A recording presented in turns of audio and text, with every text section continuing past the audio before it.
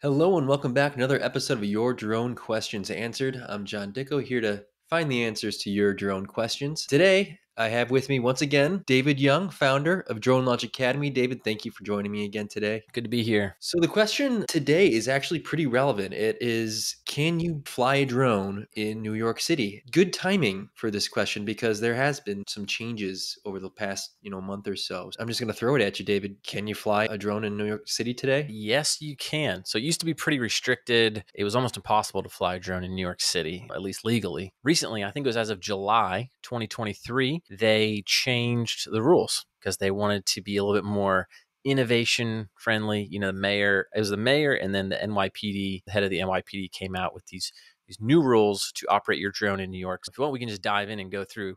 If you have a drone and you want to fly yeah. in New York, what do you got to do? So first off, if you want to fly drones and you're in New York City and you're doing this for commercial use, these we're covering kind of commercial uses, you go to nyc.gov slash drone permits. And there you're going to be able to fill out a whole kind of permit application process. It's going to ask you for a bunch of stuff. But we can go through the rules and what that's going to be like. In order to fly a drone in New York City, you do have to have, they, they call it a takeoff and landing permit because technically the FAA controls all of the air.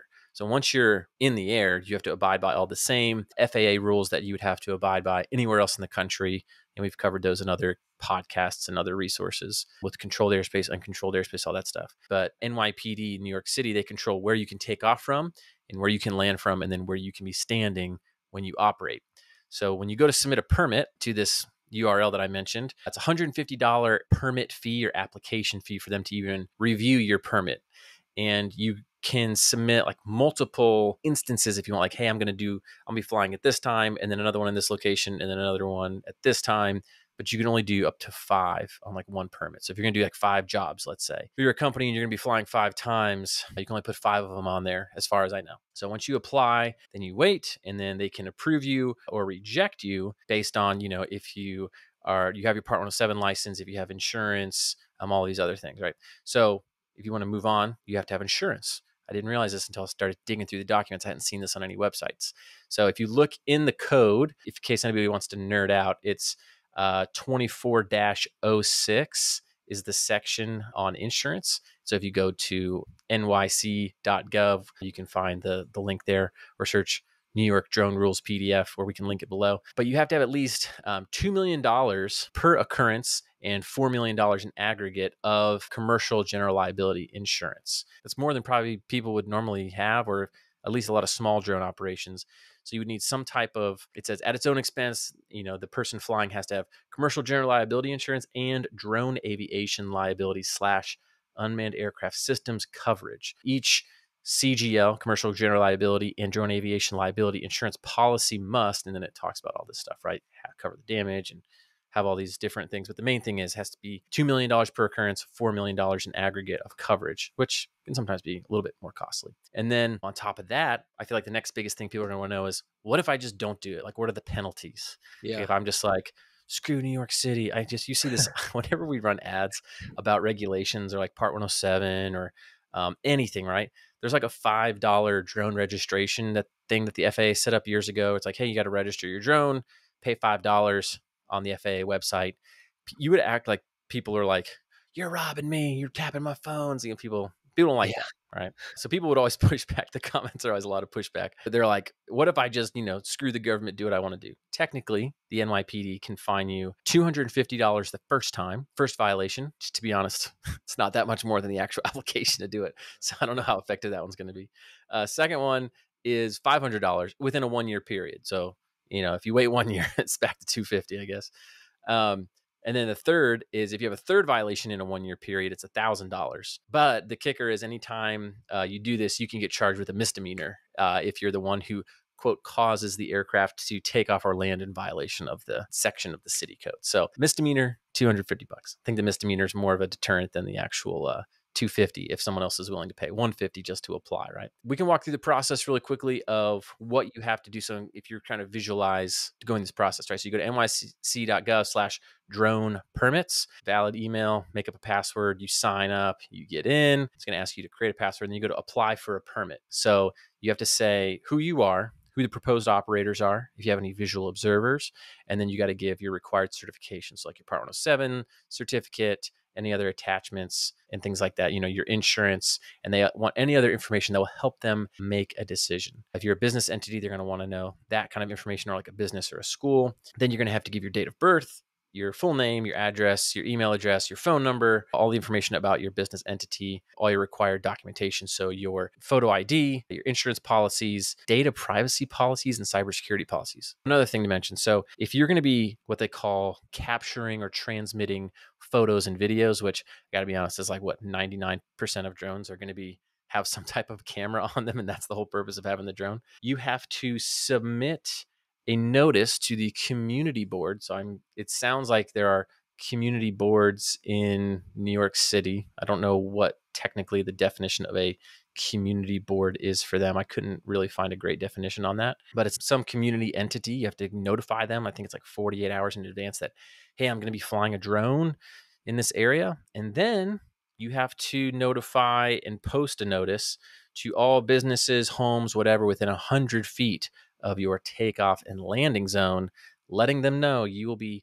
capturing or transmitting photos and videos with your drone, right? So there's first you got to get the permit, there's notification requirements, there's insurance requirement. You got to jump through some hoops to do this. It's not just sure. go and fly your drone. But I guess the benefit of it is it does allow you to do some type of drone operation, unmanned aircraft operation in the New York City area um, where you couldn't before. And it they do carve out exclusions for emergencies, you know, like if it's an emergency landing or emergency takeoff, whatever. I don't know. I guess you would have to kind of figure out what an emergency is defined as, or maybe that's up for debate. It wasn't necessarily specifically defined in here. So that's that's kind of it, it in a nutshell. But other than that, you have to obey all the other regulations. So New York City, a lot of controlled airspace. So you can't, yeah. you know, you got LaGuardia, you got JFK, um, you got Newark pretty close by. You got all these big airports, not to mention all the other airports around there. So you have a lot of controlled airspace to deal with. So if you're going to be taking off in Manhattan, I'm sure I, I, could look at the the charts, but I'm sure that's in some type of controlled airspace. So you'd have to then coordinate through the LAANC system, which is the low altitude authorization and notification capability. Usually you can do that through a whole myriad of different apps. I usually use Aloft. It's a great company great app. So you can go to the Aloft app. You can say, "Hey, here's where I'm going to fly. Here's where I'm, you know, my permits for." Tap it. It'll show you any type of temporary flight restrictions or controlled airspace or whatever, and then it'll walk you the process of applying to be able to fly in the airspace. So at first with New York, you're just applying to be able to get it off the ground right there, and then afterwards you have to make sure you can fly in the airspace. So you have to work it out with the FAA that you can actually fly there and operate in the air, and then you need the permit from the New York City to get get it back on the ground. So little bit of a process, but that's it, kind of in a nutshell. Sure. I mean, would the same apply for like a no-fly zone, or is that the same thing as a controlled airspace, or is that kind of a different? No. So like uh, a no-fly zone would probably be more like a TFR, which is like a temporary flight restriction.